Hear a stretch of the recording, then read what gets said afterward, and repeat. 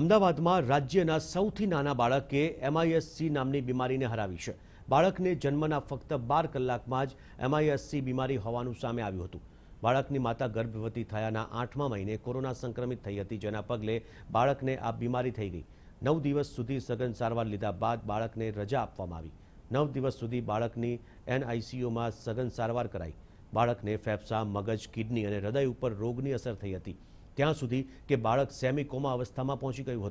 बाड़क की किडनी पर फेल थानी तैयारी में थी